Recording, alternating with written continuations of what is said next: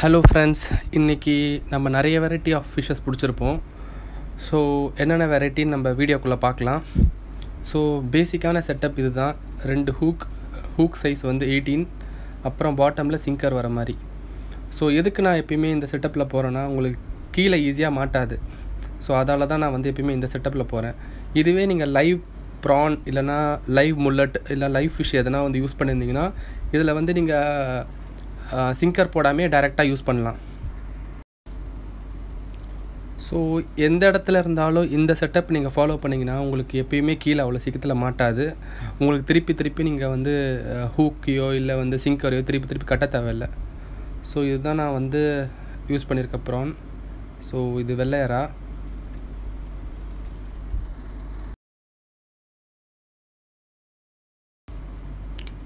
இப்போ நான் ஹூக்கில் வந்து எறாவை கொத்த போகிறேன் ஸோ நீங்கள் பெரிய மீன் இதோட பெரிய சைஸ் கொஞ்சம் ஒரு ஒன் கேஜி டூ கேஜி மீன் பிடிக்கணுன்னா நீங்கள் ஒரு பதினஞ்சு பதினாறு முள் மாற்றிக்கலாம் அது அங்கே இருக்கிற மீன் சைஸை பொறுத்து நீங்கள் உங்கள் ஹூக்கை சேஞ்ச் பண்ணிக்கலாம்.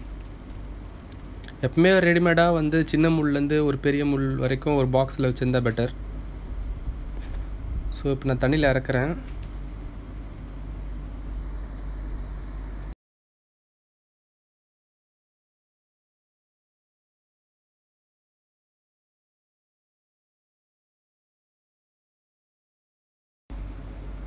எங்களுக்கு மாட்டின ஃபஸ்ட்டு ஃபிஷ் வந்து ஸ்னாப்பர் இது தமிழில் கீச்சான்னு சொல்லுவாங்க. நீங்கள் நிறையா ஃபிஷ் மார்க்கெட்டில் பார்த்துருப்பீங்க இந்த மீனை. நெக்ஸ்ட்டும் எங்களுக்கு வந்து கீச்சா தான் மாட்டியிருக்கு கீச்சாலே நிறைய வெரைட்டி ஃபிஷ்ஷஸ் இருக்குது மச்ச கீச்சா அப்புறம் கோவை கீச்சான் அது மாதிரி நிறைய வெரைட்டிஸ் இருக்குது ஸோ நாங்கள் பிடிச்சது இது ஒரு வெரைட்டி இது வந்து மச்சம் அது உடம்புல இருக்கிறதுனால இதை வந்து மச்ச கீச்சான்னு சொல்லுவாங்க.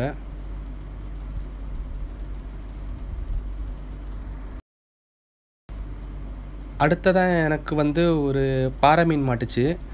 இது வந்து பதினாறாவது நம்பர் முள்ளில் மாட்டுச்சு எனக்கு.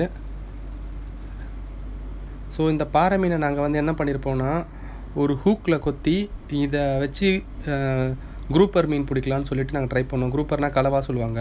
ஸோ கலவாக்கு ஃபேவரட்டான பெயிட் இது. ஸோ அதை தான் நாங்கள் ட்ரை பண்ணியிருக்கோம் ஸோ யூஸ்வலாக நான் கொடுக்குற டிப் என்னென்னா இதில் எந்த நீங்கள் மீன் பிடிச்சாலும் ஸ்னாப்பர் இல்லை பாறை மீன் பிடிச்சாலோ தண்ணியில் இது மாதிரி கொத்தி விட்டுருங்க.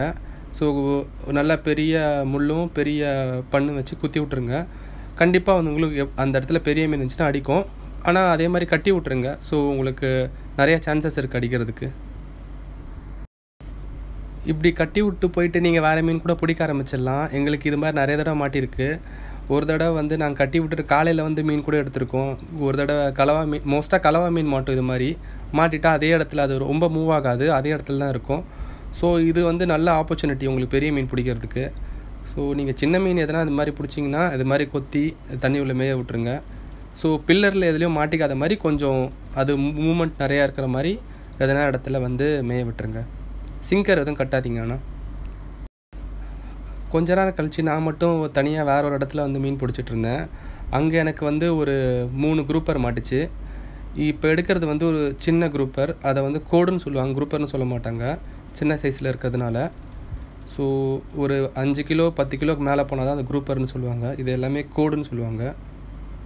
ஸோ இது கலர் பார்த்திங்களா எவ்வளோ அழகாக இருக்குது இந்த கோட் ஃபிஷ்ஷஸ்லேயே நிறைய வெரைட்டி இருக்குது ஸோ இது ஒரு டைப் ஆஃப் வெரைட்டி ஸோ இதோட வாய் எப்பவுமே ரொம்ப பெருசாக இருக்கும். ஸோ அதால் வந்து அதோட இறைய வந்து சா உடனே டக்குன்னு முழுங்கிடும். மற்ற மீனுக்கெலாம் பொறுமையாக கடிக்கும். இது அப்படி இல்லை உடனே டக்குன்னு முழுங்கிடும்.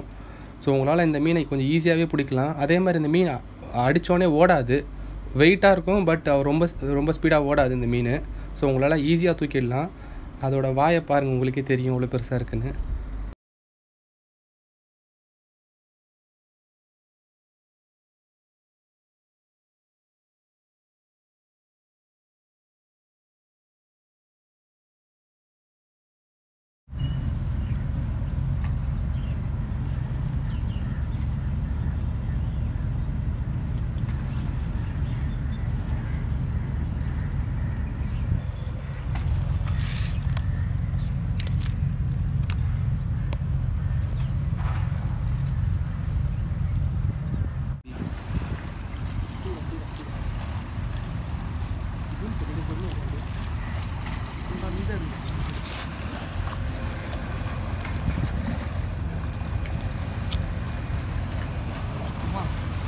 இருக்குன்னு அவன் வந்து ரெடி வீடியோஸ்லேயே இருக்கு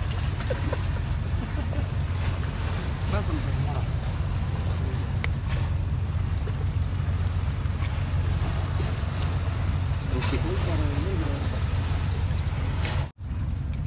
எங்கடா இருக்கு?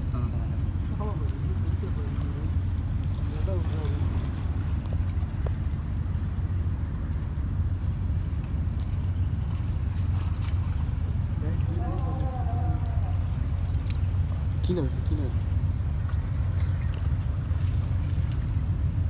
ஒன்று எடுக்கணுமா? இந்த கீச்சா மீன் உங்களுக்கு கடையில் எங்கன்னா கிடச்சிச்சின்னா ட்ரை பண்ணி பாருங்கள் டேஸ்ட்டு ரொம்ப ரொம்ப நல்லாயிருக்கும் இதில் கடைசியாக சொல்கிறேன் எந்த மீன் ரொம்ப டேஸ்ட் நல்லாயிருக்கும்னு அதை ட்ரை பண்ணி பாருங்கள் ஸோ அடுத்ததாக எங்களுக்கு மாட்டியிருக்க மீன் ஓரா. இந்த மீன் பற்றி உங்களுக்கு முக்கியமாக ஒன்று சொல்லணும். பிகினர்ஸ் நிறைய பேர் பிடிப்பீங்க மீன். ஸோ அவங்களுக்கு வந்து என்ன சொல்கிறேன்னா இந்த மீன் மட்டும் எடுக்கும் போது கொஞ்சம் பார்த்து எடுங்க. ஏன்னா இந்த முள்ளை எந்த முள் நம்ம மேலே பட்டாலும் கிட்டத்தட்ட ஃபார்ட்டி ஃபைவ் மினிட்ஸ் ஊசி போட்ட மாதிரி செம்மையாக வலிக்கும். ஊசி இறக்கிட்டே இருக்க மாதிரி இருக்கும். அந்த ஃபீல் பட்டால் தான் தெரியும். நிறைய தடவை நாங்கள் தெரியாமல் வந்து ஸ்டார்டிங்கில் தெரியல. பட்டோடனே தான் தெரிஞ்சிச்சு. ஸோ அதால் தான் நான் இப்படி எடுக்கிறேன். எல்லா முள்ளும் இதில் வெனாமஸ்ன்னு சொல்லுவாங்க.